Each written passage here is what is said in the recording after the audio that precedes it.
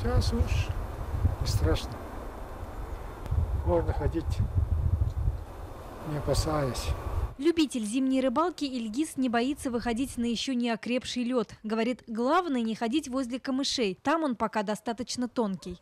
Три дня назад один товарищ не посмотрел и ногу промочил и пошел домой. За несколько часов заядлый рыбак наловил порядка 30 окуней на Пионерском озере. Уверен, выходить на лед опасно только весной. Осенью что там бояться? Он прогибается, трещит, но держит. Еще один любитель подледного лова Талгат поддерживает рыбака. Говорит, толщина льда достигает 6-7 сантиметров и не несет угрозы для людей. Ну там в середине, может, нельзя заходить, а по краю это нормально. Вчера мы были вот на озере, там 6-7 сантиметров камполян. Щуку ловили.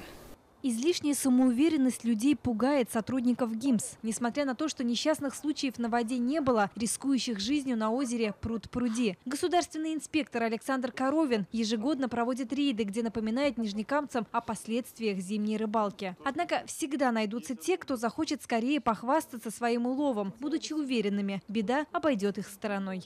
На Пеневском озере сейчас э, сформировался лед. На самом деле он не такой крепкий. Примерно толщина э, льда где-то 6-7 сантиметров. А, выход на лед так что запрещается пока еще. Вот. А, в некоторых местах он даже еще и меньше толщина. Оптимальная такая толщина льда примерно сантиметров 10, чтобы было. Тогда уже можно было как бы без опаски выходить э, без проблем. Еще, чтобы как бы температура была в, не как сейчас, вот плюсовая, а минус там 10, там, допустим, минус 5. А вот Николай Звонарев так и не решился сегодня порыбачить. Говорит, страшновато, лед еще тонковат. Пенсионер решил подождать, когда еще нарастет. Рано, потому что снег выпал, э, сырой он давит на лед, вода выходит и сырой лед получается.